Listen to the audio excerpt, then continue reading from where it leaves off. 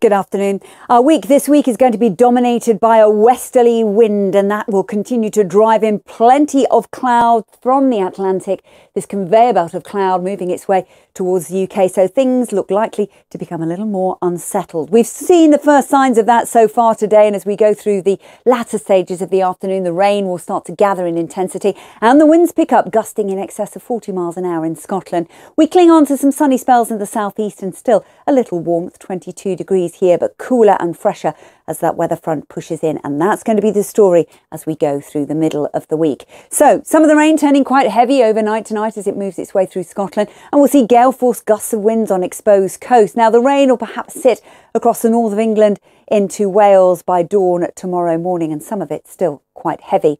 But there'll still be some rain around first thing in the morning. If we look at the finer detail across the Northern Isles and the northwest of the Great Glen, we've got this hook of cloud and rain, and still some noticeably gale force gusts of winds at times. Drier across the borders and into Northern Ireland, but there's the rain, some of it heavy across northwest England, Wales, just starting to fringe the north of Midlands as well. Now, the southeast corner may well start off dry and bright, and you will get the lion's share of the sunshine and potentially the warmth as the weather front pushes its way steadily south, but not reaching the southeast until daylight. So here we keep the russet tones, and that denotes that temperatures will be just over 20 degrees. But further north and west, the cooler greens and the temperatures really disappointing. You'll notice the difference, highest values around 15 or 16 in the far north of the country. And this weather front stays with us. It meanders its way north and south through Tuesday night into Wednesday, so really not much change.